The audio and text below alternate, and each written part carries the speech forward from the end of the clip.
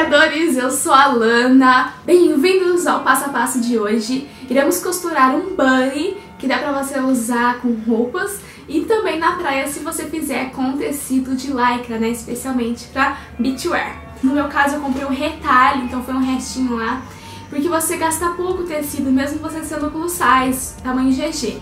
Então faça nas suas medidas infantil, PM, GG, porque é ótimo também para quem gosta de colocar por baixo de algumas peças, mesmo assim, tá, sabe? Mas fica confortável também e é ótimo, por isso que eu adoro esse, essa peça.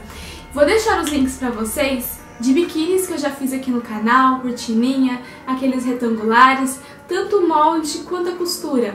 Eu tenho uma coleção tipo de buddies assim, sabe? Pra usar com saia, com, com shortinho. Pra vocês esse vídeo que eu mostro todos e explico como que faz o molde. Aqui embaixo na descrição e também no comentário. Espero muito que vocês gostem, ficou lindo. agradeço todo mundo que foi lá no Instagram curtir minha foto, que participa lá no Facebook, tá? Gratidão imensa e a gente se vê por aqui. Então bora lá! A parte das costas e o forro da parte das costas. Então a gente vai pegar a estampa ou a parte certa, vai colocar em contato com aqui em cima e passa uma costura aqui, ó. A parte da frente e o forro, mesma coisa, coloca em cima, lado certo com lado certo. E agora a gente passa costura tanto aqui na cava quanto no decote, ó. Uma das perguntas que eu mais recebo é a Ana, dá pra costurar, né, malha, lycra que estica dos, dos dois lados, né, tanto na vertical, horizontal, trama e ordume. É, dá pra costurar na máquina doméstica? Dá sim. Cada máquina vai ter seu jeito, tem sua personalidade. A Catherine e a Afro, a gente tem sua personalidade. Então o que você tem que saber? Você tem que ir ajustando os pontos, ver como que fica melhor na sua. E pra não arrebentar o ponto, você sempre quando for costurar, ó, Você dá uma leve esticadinha. A linha de poliéster mesmo. Mas eu vou esticando um pouquinho, ó. E já vai costurando. Minha fica no ponto médio. E assim. E sempre que começar e terminar uma costura, você vai dar o retrocesso. Que aí para frente e para trás. Se a sua máquina não fizer isso, então você pode passar duas vezes só pra costura ficar bem firme, tá? Pra ela não arrebentar nem nada. A alcinha que eu vou colocar é a do próprio tecido, que eu mesma fiz desvirando. Fiz um vídeo separado, ensinando passo a passo, bem devagar pra vocês. Então clica aqui e assiste lá embaixo. As suas costuras aqui, deixa uma abertura pra você pôr a alcinha. Aí você vem por dentro, ó. E nessa aberturinha aqui, você enfia a alcinha Deixa só um pedacinho aqui do lado de fora, olha. Vendo? E aí você alfineta pra você passar uma costura aqui. Aí faça isso dos dois lados, ó. Aí eu dou um retrocesso para frente, para trás. Para frente. Aí tirou aqui. Você corta esse excesso que ficou aqui. E aí você vai desvirar. Ó, sua alcinha tá embutida nova, fica lindo, né? Então você abre assim a parte de trás e a da frente, coloca uma parte em cima da outra e agora nós vamos costurar a lateral.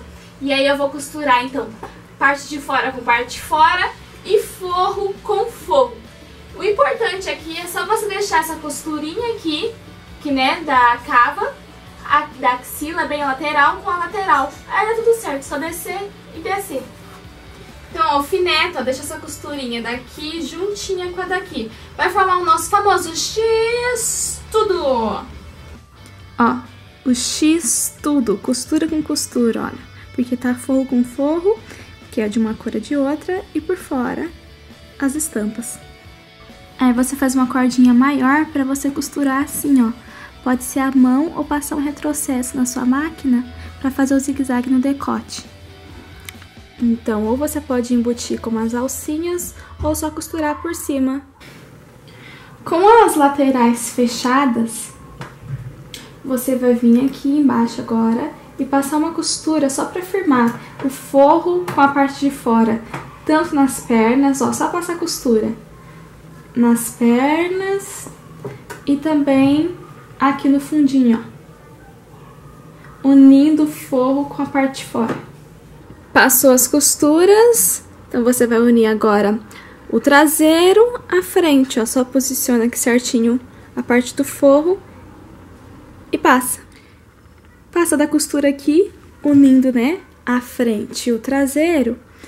Se você tiver máquina overlock, você pode passar ou também passar no zigue-zague, só para dar acabamento, ó. Costura passada, só desvirar. Ó, então vejam que lindo que ficou o nosso buddy. Aqui então, ó, com as cordinhas, as costas. Lembrando que dá pra usar como maiô e também dá pra usar como buddy, tipo no dia a dia, com roupas, com saias, com o que você quiser. Então, façam, me marquem, mandem a foto e comentem o que, que vocês vão fazer, que modelo mais que vocês querem. Muito obrigada por você ter assistido esse vídeo, muito obrigada por você estar acompanhando as videoaulas, tá? Vamos começando com as coisas mais fáceis, depois a gente vai chegar às mais difíceis. Por isso tá tudo numerado, tem aula 1, 2, tá? Tá em sequência. E eu fiz uma pasta, ou seja, uma playlist com todos esses vídeos. Também vou deixar o link aqui embaixo pra vocês. Caso você queira entrar em contato comigo para conversar sobre parcerias ou quer encomendar algum molde, base, é só mandar uma mensagem pro meu e-mail moldes.lana.outlook.com Gratidão imensa, vocês são incríveis, já somos 121 mil 121. Por que eu acho que a gente está no 100, está no 200, Alana? Hello, hello! A gente já é 221 mil criadoras. É que passa tão rápido, assim, que às vezes eu acho que a gente tá no 100, a gente tá nos 200 já. Então é isso aí. Os criadores sabem o prazer de dizer eu que fiz. Beijos e beijadas.